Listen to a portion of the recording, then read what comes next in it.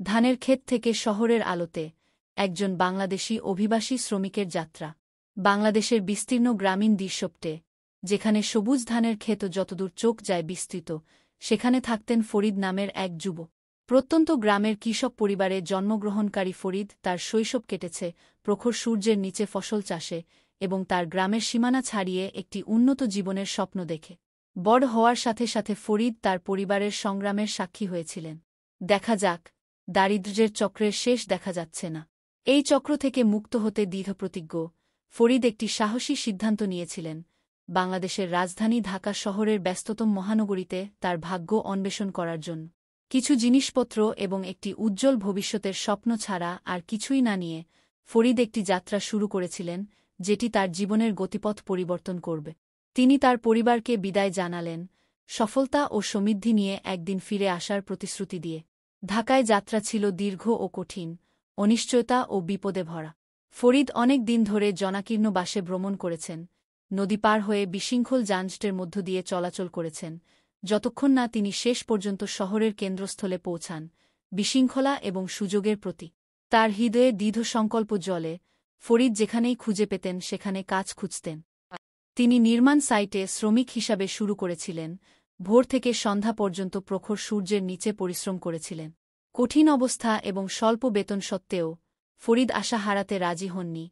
জেনেছিলেন যে তিনি স্থাপন করা প্রতিটি ঈদ তাকে তার স্বপ্নের এক ধাপ কাছাকাছি নিয়ে এসেছে, মাসগুলি বছরে পরিণত হয়েছিল এবং ফরিদের কঠোর পরিশ্রম এবং অধ্যবসায় ফল পেতে শুরু করেছিল প্রতিযোগিতামূলক বাজারে নিজের জন্য একটি কুলুঙ্গি তৈরি করার জন্য তার দক্ষতা এবং চতুর্তা ব্যবহার করে তিনি একজন ছুতার হিসাবে ভালো বেতনের চাকরি খুঁজে পান। প্রতিটি বেতনের চেক দিয়ে ফরিদ তার পরিবারকে সহায়তা করার জন্য বাড়িতে টাকা পাঠিয়েছেন, তাদের বোঝা লাঘব করেছেন এবং তাদের একটি উন্নত ভবিষ্যতের জন্য আশার আলো নিয়ে এসেছেন, কিন্তু শহরের জীবন তার চ্যালেঞ্জ ছাড়া ছিল না। ফরিদ একজন অভিবাসী কর্মী হিসেবে বৈষম্য ও শোষণের সম্মুখীন হন, প্রায়ই তার সহকর্মীর চেয়ে কম বেতন পান এবং মৌলিক অধিকার ও সুরক্ষা থেকে বঞ্চিত হন। তবুও তিনি নিরুৎসাহিত হতে প্রত্যাখ্যান করেছিলেন। তার চেতনার স্থিতিস্থাপকতা এবং তার সহযাত্রী অভিবাসীদের সমর্থনে শক্তি খুঁজে পেয়েছিলেন।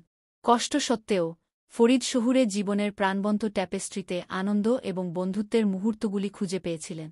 তিনি বাংলাদেশের বিভিন্ন কোণ থেকে অন্যান্য অভিবাসী শ্রমিকদের সাথে বন্ধুত্ব গড়ে তোলেন, তাদের ভাগাভাগি সংগ্রাম এবং স্বপ্নের দ্বারা একত্রিত হন। একসাথে তারা উৎসব উদযাপন করেছে, খাবার ভাগ করেছে এবং শহরের বিশৃঙ্খলার মধ্যে একে অপরের সাথে সান্ত্বনা পেয়েছে। বছরের পর বছর যেতে যেতে, ফরিদ তার পথে আসা প্রতিটি সুযোগকে কাজে লাগিয়ে সাফল্যের সিডি বেয়ে উঠতে থাকে। তিনি তার শিক্ষায় বিনিয়োগ করেছিলেন, নতুন দক্ষতা শিখতে এবং তার দিগন্তকে প্রসারিত করতে রাতের ক্লাসে অংশ নেন।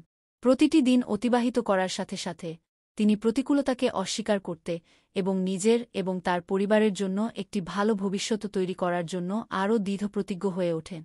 অবশেষে, বছরের পর বছর কঠোর পরিশ্রম এবং ত্যাগের পর ফরিদের অধ্যবসায় ফল দে।